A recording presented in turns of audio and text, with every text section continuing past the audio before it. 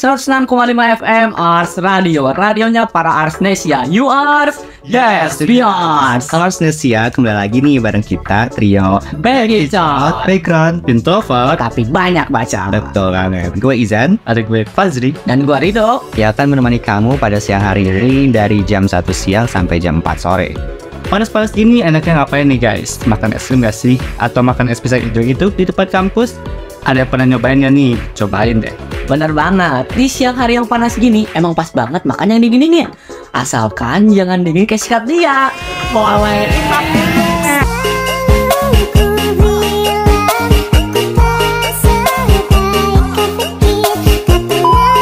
Oke, by the way, ngomongin tentang pisang hijau nih. Tahu nggak kampus Arts University lagi ulang tahun yang keempat loh. Sebenarnya udah dari kemarin-kemarin sih ya. Tanggal berapa sih? Tengah sembilan sembilan. Oke. Nah kira-kira ada wish gak nih buat kampus kita tercinta ini?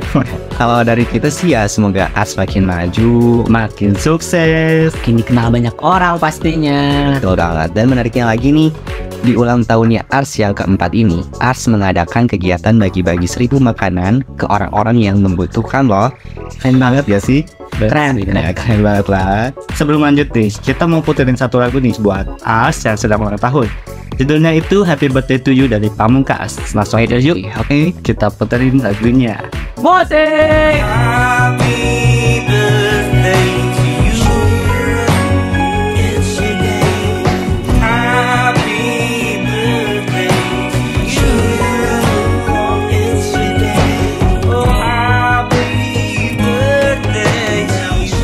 Oke Alesia, satu lagu tadi udah cukup kali ya buat pembukaan sekaligus lagu spesial buat As yang sedang ulang tahun kali ini. Nah, langsung ke segmen kita aja kali ya. Segmen kita kali ini ialah Cinema Ars Ngomong-ngomong soal sinema nih ya Yang namanya sinema pasti nggak jauh dari film Nah, akhir-akhir ini ada film yang lagi booming banget nih Bagi para pecinta film horor Indonesia khususnya Film Di Ambal Kematian Nah, film Di Ambal Kematian ini menjadi salah satu film yang dinanti-nantikan oleh banyak orang Kayak gimana sih sinopsis dari film Di Ambal Kematian ini? Oke, jadi cerita di amal kematian ini diadaptasi dari kisah nyata yang diambil dari cerita viral di Twitter atau X ya kalau sekarang X. Cerita dari akun @zeropoint itu bercerita tentang seorang gadis yang terancam menjadi tumbal pesugihan ayahnya sendiri. Serem banget gak sih? Serem, masa banget sih itu. Parah.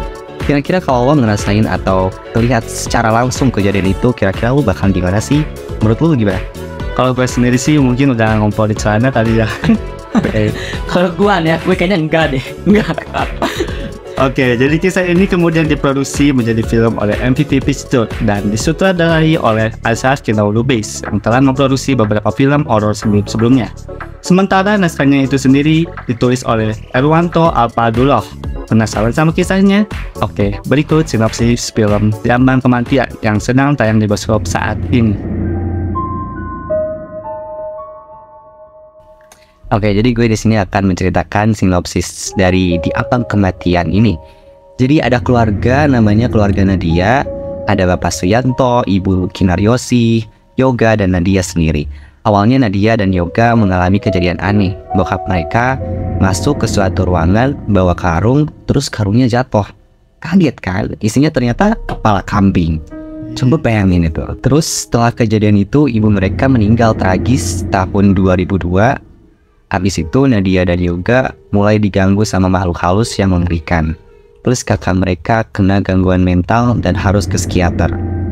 Yang lebih seremnya lagi, seluruh keluarga ini harus nurut sama peraturan anehnya si bapak. Nadia dan Yoga curiga kalau bokap mereka ini lagi ngelakuin pesugihan biar jadi kaya. Ritualnya minta tumbal setiap 10 tahun sekali guys. Sekarang Nadia dan Yoga benar-benar diambal kematian mereka. Serem banget bukan? Serem ya, serem banget. Nah, kira-kira gimana ya nasib keluarga mereka nantinya? Mungkin untuk lebih jelasnya, dan kalau ingin tahu kelanjutan ceritanya, boleh banget nih buat kalian yang mau nonton, mumpung masih ada di bioskop, langsung aja datang ke bioskop sekitar kalian. Betul banget. Oke, gak kerasa udah 3 jam aja kita berbincang di segmen Sinears ini. Mungkin buat kalian yang ada masukan atau pertanyaan, request-request lagu, boleh banget nih kirim ke email kita di arsradio@gmail.com atau langsung aja ke media sosial kita. Nah, mungkin segitu aja dari kita. Tetap tungguin segmen sinears kita selanjutnya di 106,5 FM Ars Radio setiap hari Jumat pada pukul 1 siang sampai jam 4 sore. Semoga harimu tak kelai.